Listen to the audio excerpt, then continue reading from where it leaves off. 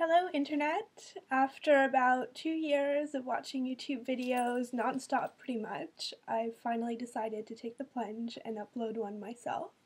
So welcome to my channel. So I thought that uh, for my first video I would upload a short haul. I went shopping yesterday, I went to the mall and got a few things that I've been wanting to get for a while from Sephora. I also went to MAC and got to my shadows that I can't believe I didn't have before. Um, so I finally got them and used them today and I love them. On to makeup. I walked out of Sephora with one of these little bags of goodness and happiness. These always make me so excited. I love the tissue paper, I love the bag, I love it all. Um, I think the number one thing that I got that I'm super excited about is this pencil by Hourglass, which is relatively new to Sephora in Canada. I think we've only had it for maybe about a year or even less. And um, unless you can't tell, I'm obsessed with eyeliner, and th that's exactly what this is. It's pretty much the finest tip I have ever seen on a liquid eyeliner pen ever. In fact, it's so fine that my camera can't even see it, but here it is teeny, teeny, tiny.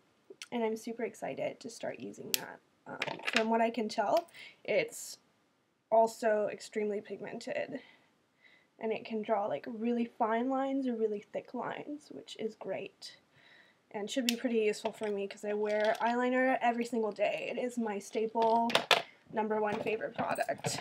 So, along the same lines, I also got some eyeliner pencils from Makeup Forever. And I love these. I think they're actually better than the Urban Decay ones. So I've been wanting to get a brown one for a while. And that's this one in 2L. And then I got a silver one too. But it's still packaged, sadly. So I need to try and peel that off. I don't know why they make this so hard to take off. Anyway. Here's a swatch, better late than never. And this is the silver color, which is so, so pretty. It's like liquid metal. You can see that really well, actually, which is awesome. So I'm excited to try those. Um, before I've had a kind of bronzy one that I used to wear during the summer along my lower lash line, and it stayed on amazingly. Like, all day without the slightest bit of wear. I think the secret to them is that they have a kind of um, gel formula that stays on really, really well, like better than creamier type pencils that tend to smudge throughout the day. Um, this lip product is one that I've been wanting to try for a while as well, given that darker, sort of vampy lips seem to be huge for fall, and they're kind of outside of my comfort zone because, um, well, as the name of this channel suggests, I tend to like more kind of glossy pink lips, unsurprisingly. Um, so this hopefully will be a good medium for me. And it's the Clinique Almost Lipstick in Black Honey, and it has really nice packaging. It's like half wood and half metal. You can see it here looks insanely dark in the packaging, like something that I would never buy.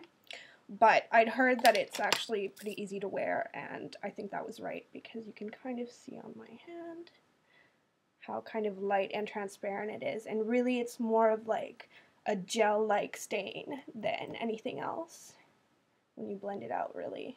It's just a slight tint. So I think I will actually really like that, and it will be a good way for me to try sort of different lip look than I would normally go for. Um, and then finally, from my favorite brand from blush for blushes, I got this Amazonian Clay blush. And this is the color Exposed. And it looks like something that you would never buy in blush because, I don't know, modern wisdom tends to suggest that blush should be pink or coral, and those are always the prettiest colors when you look at the, like at what's available in the store. But I'm wearing this today and I absolutely love it. It's really easy to wear and it gives your face a kind of bronzy look, unsurprisingly, because it's actually pretty similar color to bronzer. I'd say it's a little bit pinker than bronzer and maybe a little bit silkier as well. Um, I usually use the Tarte Park Avenue Princess bronzer, the waterproof one, without the glitter, and I really like that one. And I'd say it's maybe about two shades darker than this and a little bit more sort of orangey brown, whereas this one has a hint of kind of tan pink to it.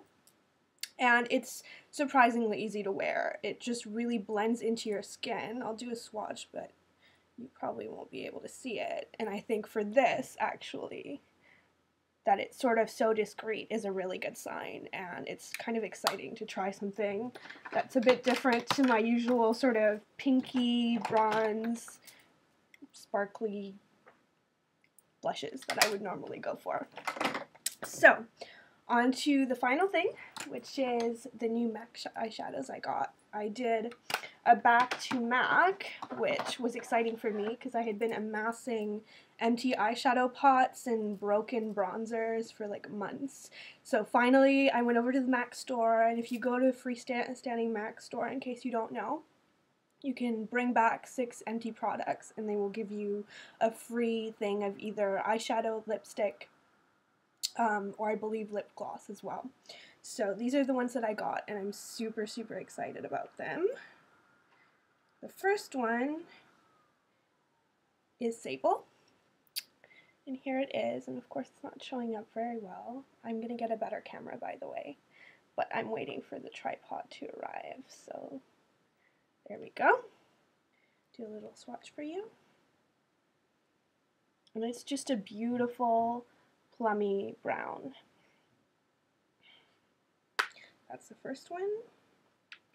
Second, I've been trying to get some more matte uh, shadows because I find that when I go to the store, I'm never really attracted to those. They don't look very exciting in the packaging. I like things that are shiny and pretty and have a little bit of shimmer to them. But that said, combined with shimmery eyeshadows, matte eyeshadows can actually really balance the look and sometimes I even have been wearing matte just matte eyeshadows together and sort of liking that look actually. It's a little bit more natural and strangely also like I think a bit more modern to wear those together. It sort of blends into the rest of your look, which I like. And this is Wedge, which is a matte eyeshadow from MAC. Um, what else did I get? I also got a new highlighter, and that is one of the things that I'm always looking for. I love my eye highlighter. I wear it every single day along my brow bone and inner corners. I'm obsessed with it. But I find that it's really hard to find ones that are pigmented and look good on my really pale skin.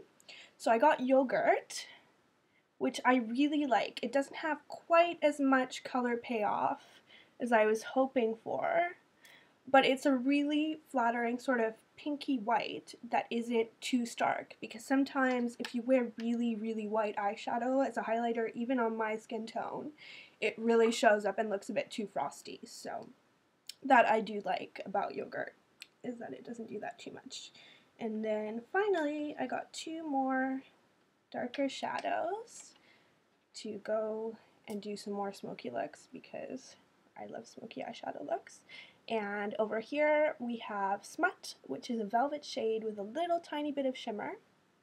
And it's going to be a good option for me to keep me away from using too much black and it will look a little bit softer. So I'm excited to try that out, probably along the inner V or to smoke out my new brown eyeliner.